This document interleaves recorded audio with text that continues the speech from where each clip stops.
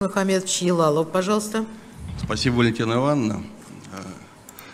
Э, скажите, пожалуйста, вот э, опять возвращаясь к нашему южному соседу, Турецкой Республике, э, с приходом к руководству Турецкой Республики руководителя Эрдогана достаточно активно Турецкая Республика позиционирует себя как центр тюркского мира.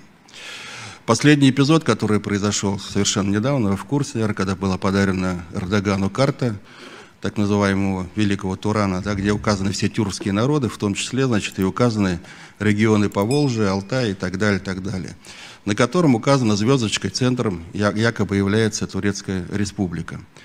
Естественно, это вызвало определенные эмоции, в том числе и у нас.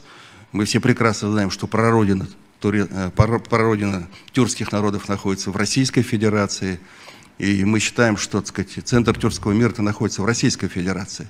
Не могли бы вы прокомментировать этот эпизод и вот это, так сказать, усиливающееся, скажем так, пока гуманитарное наступление Турецкой Республики вот именно для работы в постсоветском пространстве?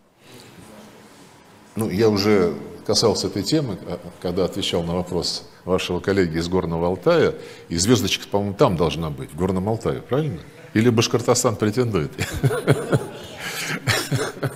Но, но вот тебе, кстати, если серьезно, я не вижу ничего зазорного в том, чтобы поддерживать связи с соплеменниками, с отечественниками, как их ни назови. А, наверное, соплеменники в данном случае, потому что соотечественник тот, кто совсем недавно жил с тобой в одной стране, по-моему. А, ну, в, данном, в нашем случае Российская империя и Советский Союз. И у нас есть такой ареал а, из наших соплеменников и наших соотечественников. Мы тоже можем покрасить карту мира в определенные цвета, э, придавая им различную, различную тональность. Ну, это, во-первых, все постсоветское пространство. Это, конечно же, огромное количество наших, наших э, соотечественников, представляющих народы Советского Союза во множественном числе.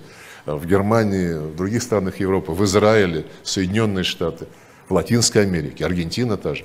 Поэтому тут можно краски разные, разные применять, но повторю еще раз, вот э, создали наши турецкие партнеры, э, у них был совет тюркоязычного государства, сейчас совет сотрудничества, сейчас организация тюркоязычного государства.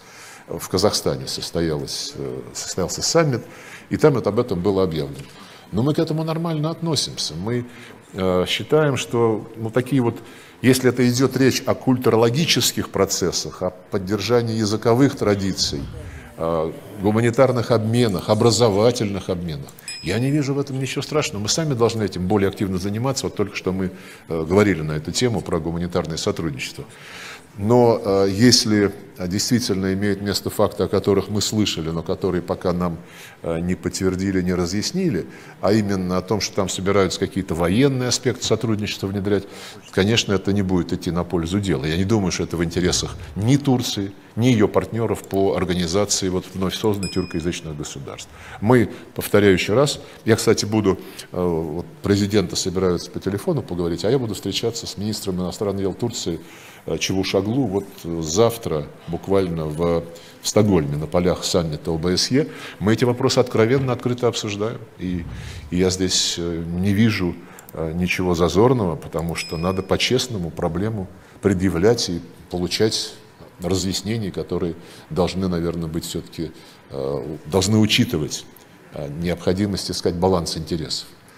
Но пока я говорю, я не вижу ничего зазорного в том, чтобы продвигать культурную политику, э, в том числе в тех формах, которыми мы занимаемся, которые применяет Турция, при понимании, что это именно культурная рамка, а не э, закладывание фундамента для чего-то уже э, более существенного, что будет затрагивать интересы других государств. Что думаете вы? Пишите в комментариях. Спасибо за просмотр. До новых встреч!